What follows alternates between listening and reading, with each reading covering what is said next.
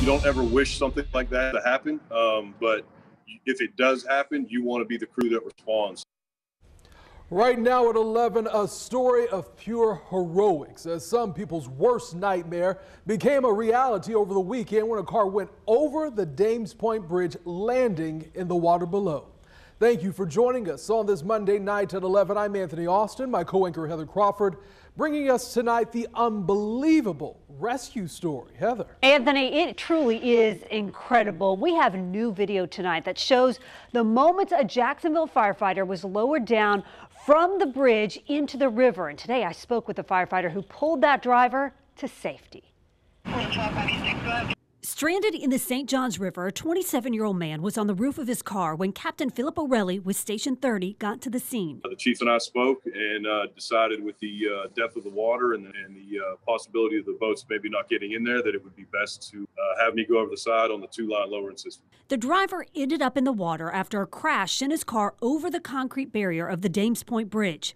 Fortunately, the water there was only about five feet deep. That's actually my first time uh, being on the end of the line, going over uh, any kind of uh, obstacle like that. Uh, we train for it uh, consistently. Firefighters worked together to lower Captain O'Reilly over the bridge into the water so he could put a harness on the driver.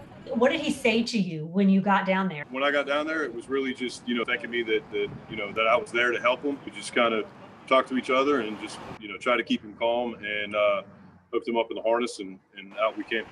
Crews used a ladder to lift them both up onto the bridge. The rescue operation from start to finish took about 23 minutes. They had just trained on it a few shifts before because the captain and his crew were so proficient in what they did. They had the rescue bay before our special operations team got there. And that's a credit to the men and women here at 30 and the men and women on our special operations teams that, uh, that go out and do this extra training all the time to make sure that we're ready, you know, that we're ready to respond to these type incidents.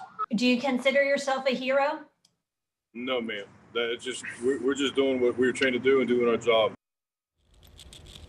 Some brave men and women with the JFRD. Now, despite his car going off the bridge, the driver only had minor injuries. Now, the question I've not yet been able to answer is how the driver was able to get out of his car.